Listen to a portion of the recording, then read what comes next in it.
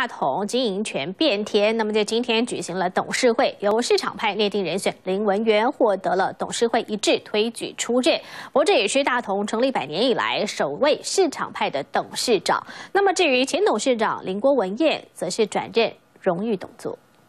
结果我们是以九票全部无异通过来推举我担任董事长。大同董事长人选出炉，由台本董座林文渊出任，大同前董事长林国文彦任荣誉董座。荣誉董事长呢，基本上他是一个呃非常尊崇的礼遇值了。如果有任何的需要，他愿意提供咨询。难得开放让媒体问到宝，新任大同董座林文渊和董事王光祥同框并肩，用行动驳斥先前市场派分裂传闻，也否认抛售大同股票一说。逻辑不通。呃，眼看着大同一定会越来越好，王总干嘛要在这个时候卖股票？郑重的声明，会增加股票。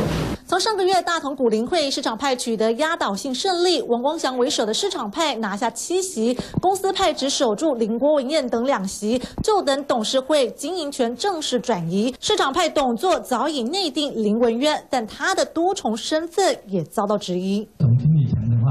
董事长是很轻松的，所以基本上我在台本跟东升，呃，讲实话，呃，我现在还蛮轻松的，所以基本上大概不会影响我太多的工作时间。